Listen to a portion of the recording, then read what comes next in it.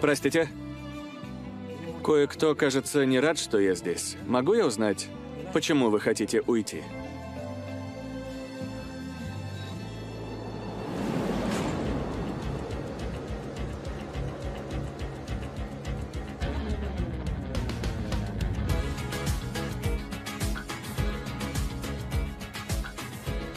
Эсра?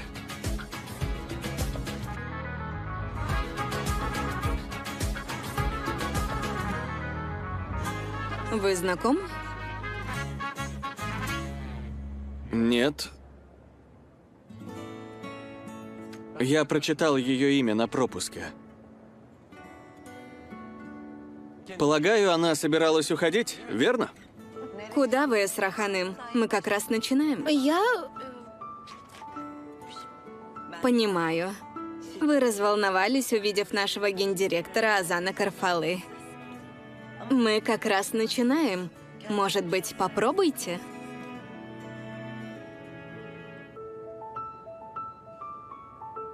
Я бы хотела попробовать, вы правы. Могу я сесть обратно? Пожалуйста, садитесь, и мы начнем. Азанбей, можем начинать.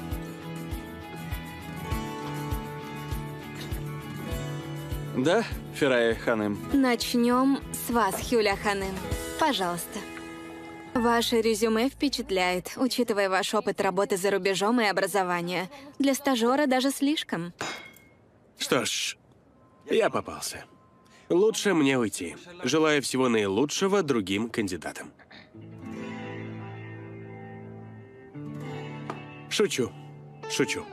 Да, у меня хорошее образование и опыт работы за границей. Но эта компания очень высокого уровня. Я закончил университет и вернулся сюда. Стажировка в вашей компании была бы для меня очень полезной. Компания просто супер. Неплохо. Что вы делаете? Все нормально? Все хорошо.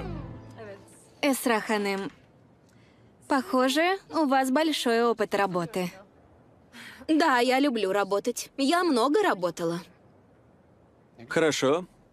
Хорошо. Здесь говорится, что вы работали имиджмейкером Эсра Ханым. Не могли бы вы подробнее рассказать нам, что вы делали? Добро пожаловать! Подходите! Подходите! Мой босс сходит с ума. Ханым, не смотрите на него. Черный ваш цвет. А еще он стройнит. Берите, будете выглядеть на размер меньше. Слушайте, Ханым, у вас есть дочь? Есть. Голубоглазая блондинка? Да. Так и знала. Скорее покупайте. Розово-белое. Вам будет очень к лицу. Берите. Красавица, тебе нравится? Бери, будешь носить, когда подрастешь. Да ладно, почти даром. Мой босс сошел с ума. Поторопитесь, пока еще осталось. Я помогала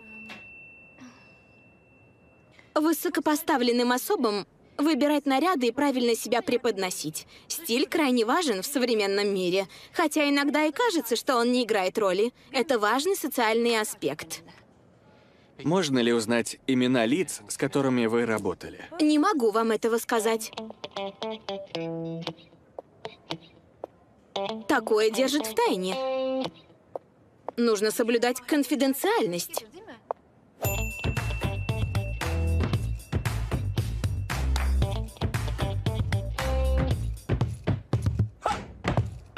Также вы говорите, что были директором по продукт-плейсменту и рекламе. Расскажите нам о своем опыте, с какими именно продуктами вы работали. Эсра Ханым.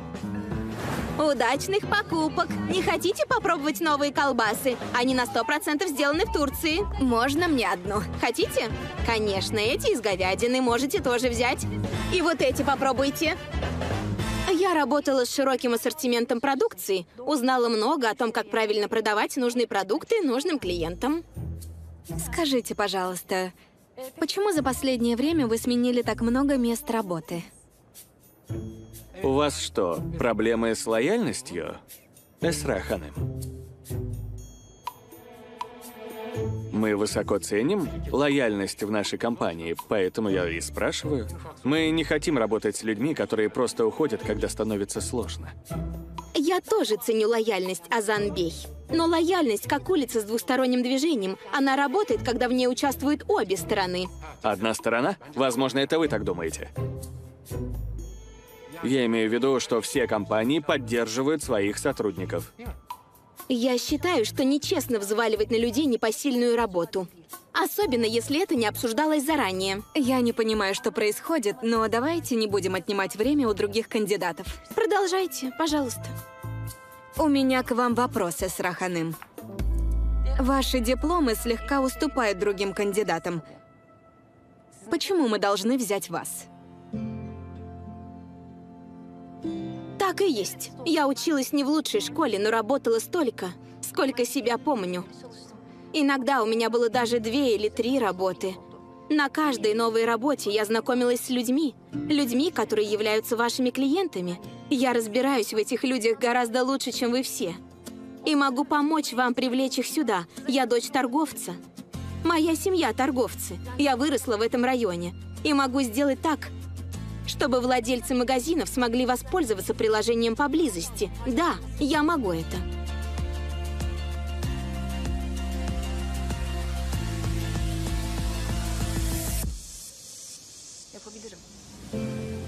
Эстра, не грустите. Все прошло очень неплохо. Вы что, не видели, как они издевались надо мной? Вы знакомы с Азаном? Выглядело немного странно. Нет, он просто выбрал меня своей жертвой. Он вроде бы не из таких. А вы знаете Азана? То есть Азанбея? Я нет. Откуда мне его знать? Я знаю его только из интервью, которое видел по телевизору, и все. У вас все очень хорошо вышло. Я думаю, что они вас возьмут, наверняка. Надеюсь, не возьмут. Вы что-то сказали? Может, они наймут нас обоих. Не падайте духом, все хорошо. Надеюсь, если Азанбей не вмешается, конечно. Тогда может быть. Да.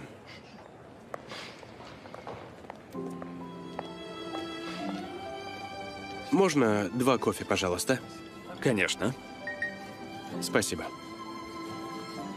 А можно мне, пожалуйста, без лактозы? Я в парке возле офиса. Спасибо. Делать. Мне нужна была работа. Вот я и решила попробовать. Что тебе нужно, Эсра? Нет другой работы? Мне нужна эта работа. В это что, невозможно поверить? Не понимаю. Нет уж. Нет.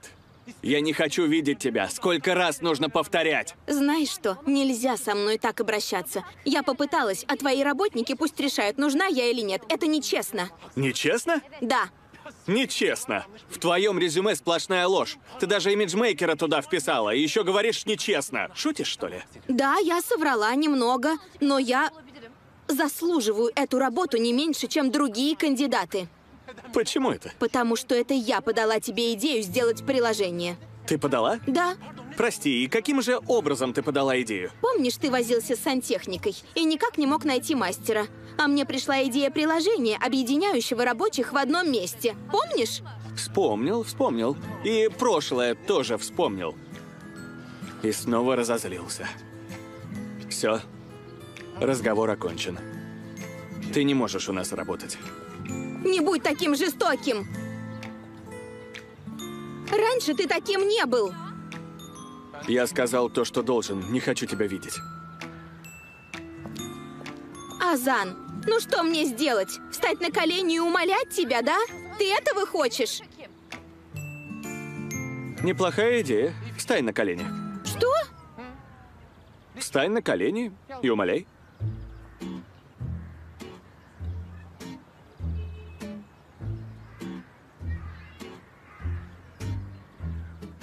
Ну же.